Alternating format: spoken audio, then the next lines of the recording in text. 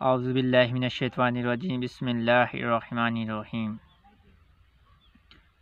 دعا کرتا ہوں میرے میٹھے میٹھے بھائی اسلامی بھائیوں اور میری بہنوں اور میرے بزرگوں، کہ آپ خیریت سے ہوں گے، سب تندرست ہوں گے۔ ذرا سردی ہلکی سی زیادہ ہے تو پھر بھی آپ دوستوں کے لیے میرا دل کیا کیتا ہے کہ میں ویڈیو ڈالوں۔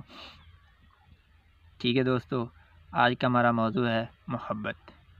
انسان کو جب کسی سے سچی محبت ہوتی ہے، اس کی طرف بہت شدت سے ہوتی ہے، چاہے اللہ سے ہو، چاہے کسی انسان سے ہو، چاہے کسی عورت سے ہو، چاہے ماں باپ، محبت تو محبت ہی نہ، جس سے بھی ہو جائے، یہ بہت شدت والی ہوتی ہے۔ یہ شدت والی محبت ہے، آگے سے محبت نہ ہو، ان دوستوں کو جڑا اچھوتانا نہیں چاہیے آپ کا بھائی اس محبت کو کامیاب کرنے کے لیے وظیفہ لے کے آیا ہے۔ آج کا ہمارا موضوع ہے کہ سچی محبت کیسے اگلے انسان کے دل میں بھی اتاری جا سکتی ہے۔ دوستو، اس کے لیے چاہے میری کوئی بہن ہے، چاہے میرا کوئی بھائی ہے، ٹھیک ہے، اسلامی بھائیوں، وہ دونوں ہی کر سکتے ہیں۔ اس کے لیے آپ نے کرنا کیا ہے؟ اول آخر شریف پڑھنا ہے، ٹھیک ہے گیارہ گیارہ دفعہ۔ ابراہیم۔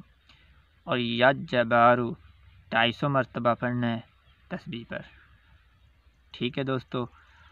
اور اس کا وقت آپ اپنے دل سے جس وقت مرضی کر سکتے ہیں، یہ پکا ٹائم کوئی نہیں، صبح کے ٹائم کر سکتے ہیں۔ دوپہر کے ایک ٹھیک بارہ بجے کے دوران نہیں کرنا، اس کے آگے پیچھے جب مرضی کر، رات بارہ بجے اور دن بارہ بجے کے دوران میں نہیں کرنا۔ باقی جس ٹائم مرضی کرو، کوئی مسئلہ نہیں، کوئی دقت نہیں۔ ٹھیک ہے دوستو۔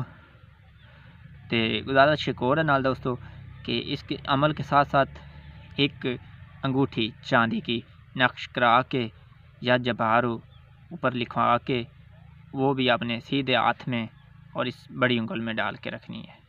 ٹھیک ہے۔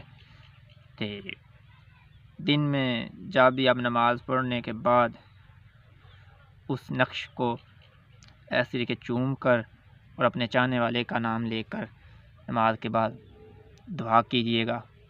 تو یہ وظیفہ بھی چالیس دن تک سلسل کرنا ہے۔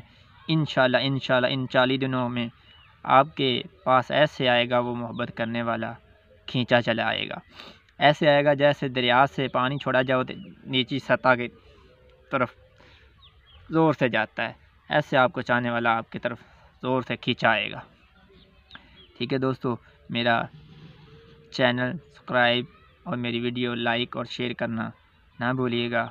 اپنے اس دوست کو اجازت دیجیے السلام علیکم۔